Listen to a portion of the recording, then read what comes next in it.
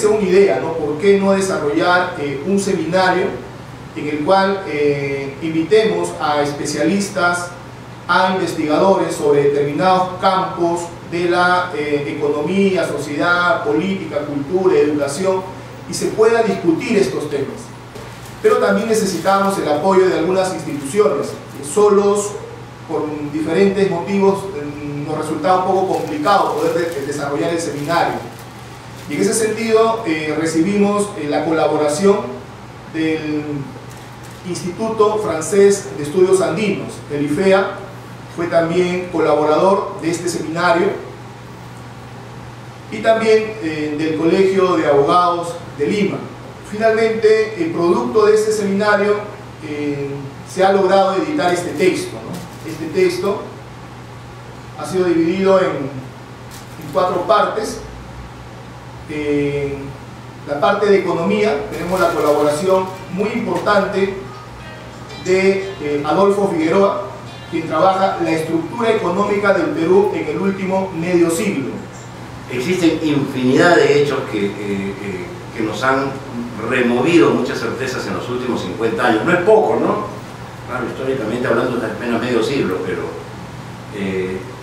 esas certezas nos han llevado a tener muchas actuaciones, y nos han llevado también a cometer eh, inevitables eh, errores eh, y, y, decepciones. Pero no todo está ni mucho menos perdido. Es decir, yo no comparto algunas visiones de acá, pero todas tienen información interesante. todos son académicos muy respetables, profesionales muy respetables algunos los conozco, he leído sus textos, eh, Adolfo Figueroa, eh, eh, sobre, tiene un texto clásico junto con Web sobre el ingreso en el Perú y es posiblemente uno de los estudiosos que mejor han trabajado los ingresos de la población en el Perú y su evolución en, el tiempo. ¿no? Es importante que todos estas cosas, que evaluemos qué ha pasado en estos 50 años. El que dice que ya se las sabe todas está mintiendo y tenemos que unir así versiones muy distintas del asunto. Yo felicito a los editores, porque además también es un libro de que hay un punto de vista.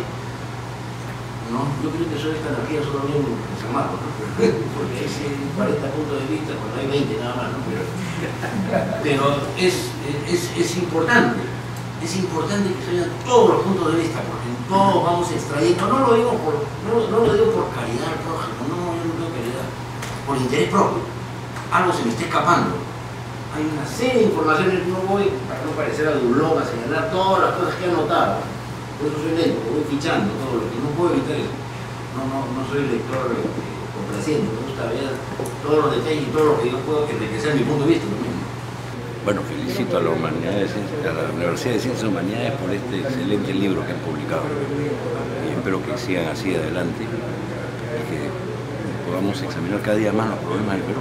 Me parece muy bien que todos tengan opiniones distintas, porque si no, no podemos eh, eh, ver todos los ángulos de un país como el Perú, que es muy complicado. Yo creo que es muy importante, en particular teniendo en cuenta que una de las vulnerabilidades que tiene nuestro país es la falta de memoria o la pérdida de memoria. Este es un libro que agrupa los temas más importantes de los diferentes campos económicos, social, político, entre los cuales está también el militar, que nos permite recordar qué cosa es lo que nos ha sucedido y algo importante que nos dice la historia, conocer los hechos para no repetir los errores. Yo creo que por ahí va esta enseñanza. Y considero que leyendo el libro se van a poder enterar de aspectos que han ocurrido al interior de las Fuerzas Armadas en cumplimiento de su misión constitucional y en particular en estos 20 años de, difíciles que tuvimos. Yo creo que, fíjese, en lo, personal este libro me ha permitido a mí formular un libro que voy a presentar prontamente que se van a llamar los 50 años de la Fuerza Armada. Las 50 páginas que me pidieron a mí las he convertido en 500 porque me despertó la curiosidad de complementar más eh, este trabajo. Yo agradezco a la universidad, agradezco al doctor Bonía por haberme invitado y creo que es un gran esfuerzo que ha hecho la universidad para no solamente para los universitarios que estudian acá, sino para el público en general.